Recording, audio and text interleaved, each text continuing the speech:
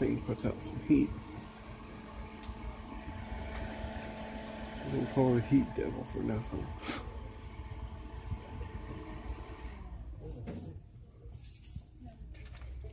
Don't have 10 bucks though.